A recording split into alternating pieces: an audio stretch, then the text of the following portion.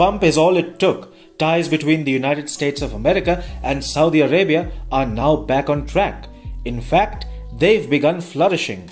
Washington has just approved arms sales worth about $5 billion to two nations in the Middle East. These are Saudi Arabia and the United Arab Emirates. From being called a pariah to now getting billions of dollars worth weapons, Saudi Arabia has really won the game against Washington.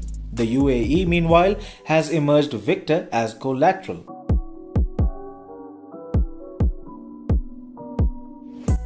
The Biden administration on Tuesday approved multi billion dollar weapon sales to both Saudi Arabia and the United Arab Emirates.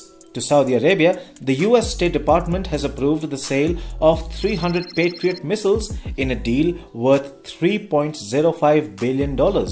To the United Arab Emirates or the UAE, Washington has approved a deal worth $2.25 billion for 96 terminal high altitude area defense or THAAD missile rounds. The State Department said that the sale to Saudi Arabia would help the Gulf Kingdom defend, and I quote, its borders against persistent Houthi cross border unmanned aerial system and ballistic missile attacks on civilian sites and critical infrastructure.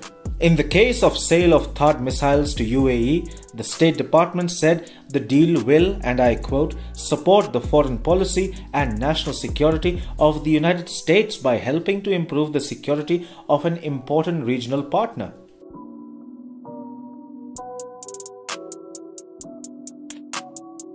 The Biden administration had, in its early days, pledged to cut off weapon sales to both Saudi Arabia and the UAE because of their offensive in Yemen. A lot has changed since. For example, Washington now needs Saudi and Russia led OPEC Plus to increase oil output to bring down global crude prices. So far, Saudi Arabia has refused to oblige the United States' repeated requests.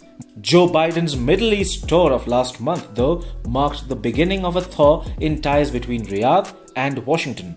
The arms sales to both Saudi Arabia and UAE come after Biden met Crown Prince Mohammed bin Salman and other Gulf leaders last month. In fact, the US president also extended an invite to the UAE's ruler, Mohammed bin Zayed Al Nahyan, to visit the United States soon. Russia's growing clout over the Gulf nations and its control of OPEC Plus, along with Saudi Arabia, is what seems to have convinced the White House that realpolitik must trump morals and principles.